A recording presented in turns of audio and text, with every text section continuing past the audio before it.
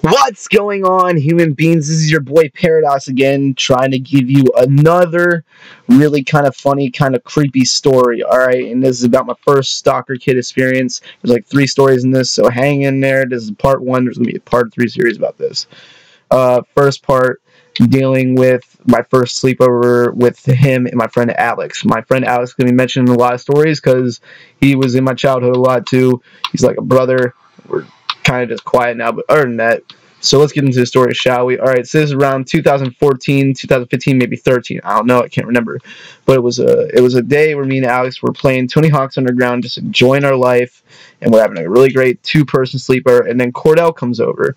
Cordell's this kid that has barely any friends, so I felt really bad for him. But Alex could care less, so I let him stay a night with us, and we're all playing Tony Hawk's Underground. We're just having a good time, doing the storyline, playing two-player. We're we're talking and we're eating snacks. You know, it was like what every other kid did around that time. So uh, he comes over and he starts saying weird, disgusting stuff that he did with his brother, stuff that should be illegal. Um, he just starts getting like really, really graphic with details, and we're kind of getting disgusted. So what was my first thought? My first thought was to tell him to stop. And he goes, Why? I'm just being honest with you. And I was like, You can be honest, but you really don't have to tell us the disgusting things you do inside your house that might be illegal. I really don't like that kind of stuff. I'm a weird guy. I like doing weird stuff. And I like talking about weird stuff. And when you take it too far like that, you kind of have to stop. So I asked him politely at first, and he kept doing it, so I kicked him out. My uncle, who saw him crying and throwing a little bitch fit, um, looked at me and yelled at me and gave me a lecture because he believes everybody should be treated nice, and I respect that. But he should have known this guy was like trouble. All right. So he comes over to me. He's like, "You gotta let him stay over. That is mean. You can't just kick him out." And even my grandma, who I was staying with, because it's like a three-house apartment, top apartment being me, my parents, uh, the middle floor being my grandma, and the basement being my uncle Chad. So my grandma was like, "He's saying disgusting things, Chad." And Chad's like, "I don't care. He should be able to stay over too if Alex is allowed to stay over." So of course I let him stay overnight, and we're just it's it's half ruined for me. The sleepover was half ruined, it wasn't that fun anymore, but oh well, you know, we just kind of we kind of deal with it. And it made me mad. It made me mad. Don't get me wrong, but I was like, "Well, Alex is still here. We're still playing Tony Hawk. We're having a great time." Well, later that night, he started getting even more weirder. And since my uncle was asleep, I decided to kick him out again, so me and Alex can have fun. I'm not trying to be a dick, but you know, it's what happens when you push my buttons. You know.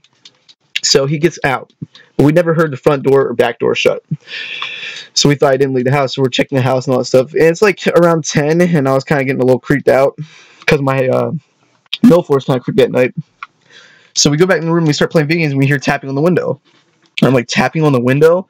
So I go to look, nothing there the first time. I go look the second time, nothing there. Taps again, I stay at the curtain, I open it, and it was that kid saying that he was locked out of his house and he couldn't stay at his parents.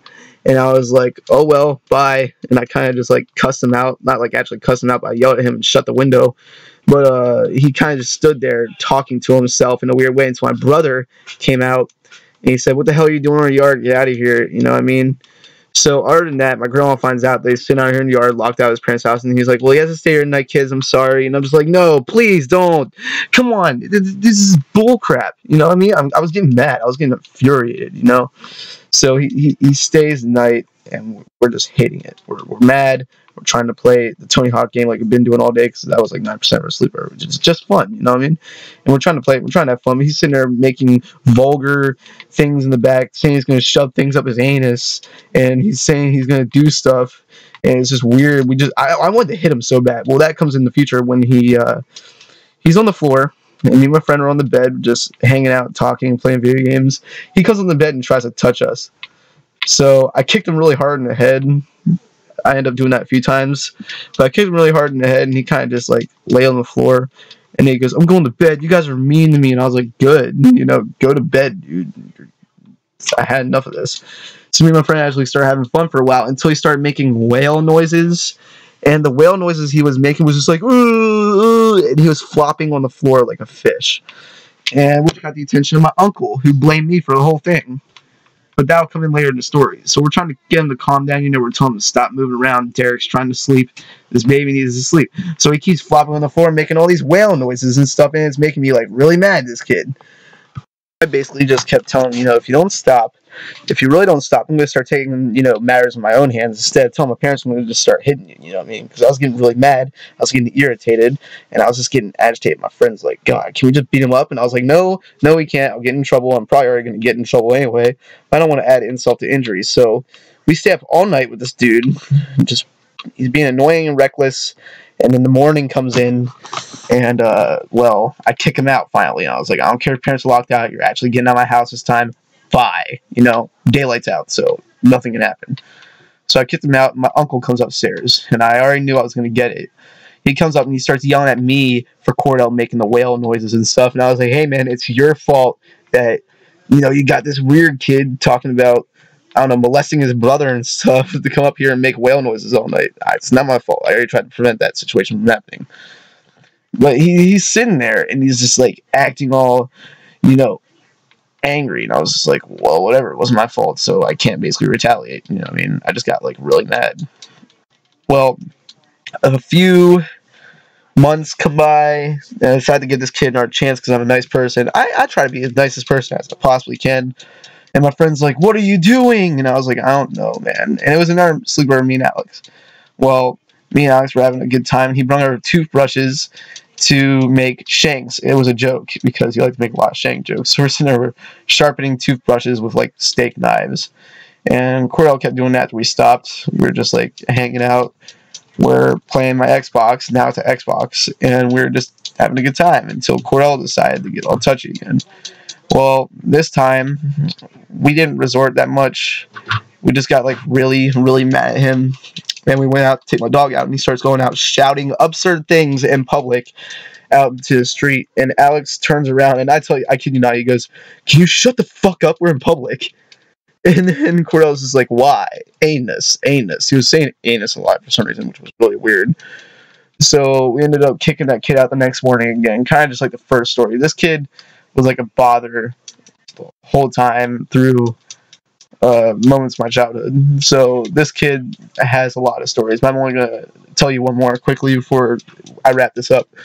Uh, he comes over to hang out one time, and me and Alex just weren't feeling it, so we kicked him out. We didn't even we didn't even tell him he could hang out. We just said go away. You know what I mean? We're just like go away at this point. We don't want to deal with your bullcrap, your uh, uh, uh, stuff. Like you know how like people say people are mentally challenged and they need friends. Well, this kid apparently he was mentally challenged, but he wasn't mentally challenged. He knew what he was doing. You know what I mean? So this whole time he's sitting out there in the backyard of my neighbor's house playing with rocks and talking to himself.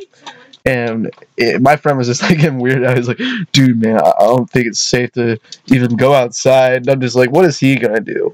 I was like, what is really, really, what is he gonna do to intimidate us, dude? The kid's crazy. He obviously needs some medication or help.